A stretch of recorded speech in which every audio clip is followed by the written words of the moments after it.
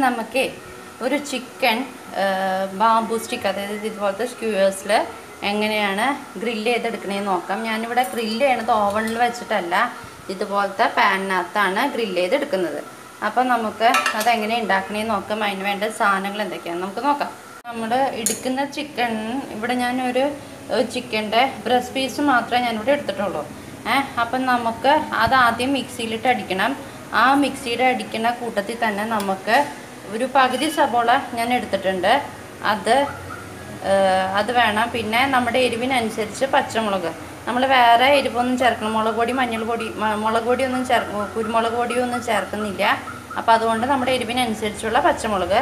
പിന്നെ ഇത് ഇത്രയും പോകുന്ന ഒരു കഷ്ണത്തിലുള്ള ഒരു ഇഞ്ചി കഷ്ണം. അതെല്ലാം കൂടെ നമുക്ക് മിക്സിയിലിട്ടൊന്ന് അപ്പോൾ നമ്മൾ മിക്സിയിൽ അരച്ച പോർഷനാണ് ഈ കാണുന്നത്. അപ്പോൾ നമ്മൾ ഇഞ്ചിയും സബോള പച്ചമുളക് എല്ലാം കൂടി ഇട്ട് അരച്ചു. എന്നിട്ട് ഒരു അരമണിക്കൂർ വെക്കണം. വെച്ചതിന് ശേഷമാണ് നമ്മൾ ബാമ്പു സ്റ്റിക്കിനകത്തേക്ക് ചെയ്യുന്നിട്ട് ഗ്രില്ല് ചെയ്തെടുക്കുന്നത്. അരമണിക്കൂർ കഴിഞ്ഞിട്ടുണ്ട്. ഇനി നമുക്ക് ഇതിന് കുറച്ചെടുത്തിട്ട് നമ്മുടെ ആ സ്ക്യൂറിനകത്തേക്ക് തേച്ച് പിടിപ്പിക്കാം. അപ്പോൾ നമ്മൾ തേച്ച് പിടിപ്പിച്ച് നമ്മൾ പിടിപ്പിക്കാൻ നേരത്തെ ഇതിങ്ങനെ പതുക്കെ പതുക്കെ ചെയ്യാൻ പാടുള്ളൂ. കാരണം നമ്മൾ ബൈൻഡിങ്ങിന് വേണ്ടിയിട്ട് വേറെ ഒന്നും നമ്മൾ ചെയ്തിട്ടില്ല. അല്ലെങ്കിൽ നമ്മുടെ ഇത് പൊട്ടിപ്പോവും. കേട്ടോ. അപ്പോൾ അത് ശ്രദ്ധിക്കുക. പതുക്കെ പതുക്കെ നമ്മുടെ കൈ ഒന്ന് നനച്ച് കൊടുത്തിട്ട് വെള്ളത്തിലൊന്ന് നനച്ചു കൊടുത്തിട്ട് ഇത് പതുക്കെ പതുക്കെ ഇങ്ങനെ ചെയ്ത് ചെയ്ത് പിടിപ്പിച്ചാൽ മതി. കേട്ടോ. അപ്പോൾ അത് എളുപ്പമാണ്. ഒരെണ്ണം കൂടെ ഞാൻ ചെയ്ത് വെച്ചിട്ട് കാണിച്ചു തരാൻ നോക്കാം കേട്ടോ. അപ്പോൾ കുറച്ച് ഇതുപോലത്തെ പോർഷൻ എടുക്കുക. എന്നിട്ട്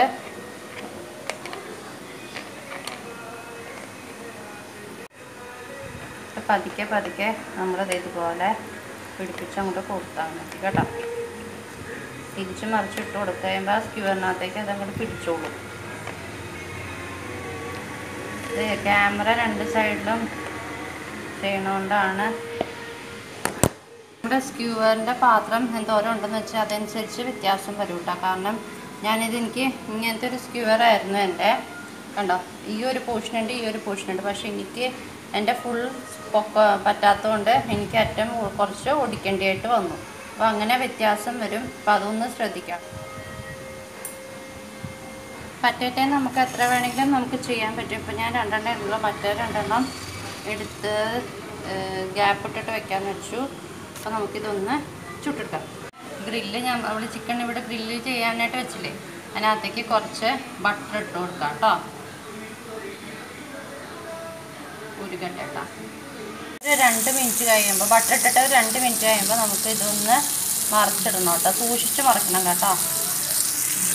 അപ്പോൾ നമ്മുടെ മറിച്ചിട്ടിട്ടുണ്ട്. അത് സൂക്ഷിച്ച് മറിക്കണം എന്ന് പറയാൻ കാരണം എന്ന് വെച്ച് കഴിഞ്ഞാൽ അടിഭാഗമായിട്ടുണ്ട് മുകൾ ഭാഗമായിട്ടില്ല അപ്പോൾ നമ്മൾ തിരിച്ചിടുമ്പോൾ അതനുസരിച്ച് വ്യത്യാസങ്ങൾ വരും. അപ്പോൾ അതുകൊണ്ട് ഒരു സ്പൂൺ വെച്ചിട്ട് നമ്മളൊന്ന് തിരിച്ചിട്ട് കൊടുക്കാം കേട്ടോ. അപ്പോൾ നമ്മുടെ മരത്തെ നമ്മൾ തിരിച്ചിട്ട് വശമായിട്ടുണ്ട്. അപ്പോൾ നമുക്ക് ഇനി തിരിച്ചിട്ടുണ്ടെങ്കിൽ കുഴപ്പമുണ്ടാവില്ല.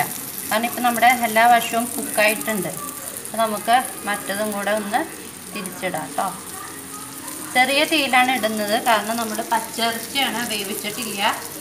അപ്പോൾ അതനുസരിച്ച് വ്യത്യാസങ്ങൾ വരും.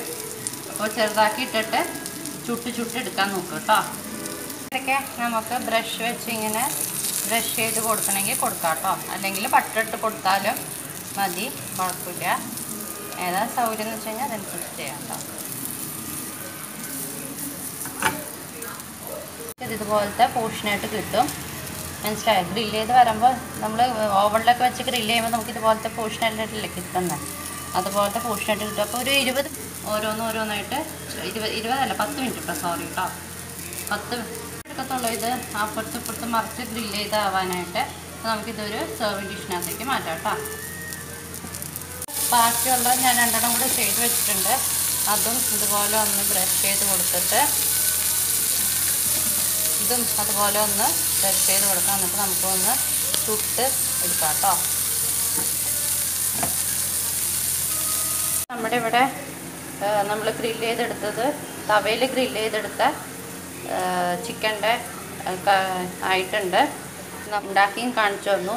അപ്പോൾ എല്ലാവരും ഉണ്ടാക്കി നോക്കാം. നാല് വശവും നിങ്ങൾക്ക് നോക്കിക്കഴിഞ്ഞ് കഴിഞ്ഞാൽ കാണാം. അതുപോലെ ആയിട്ടുണ്ട്. അപ്പോൾ എല്ലാവരും ഉണ്ടാക്കി നോക്കുക. അഭിപ്രായങ്ങൾ പറയുക.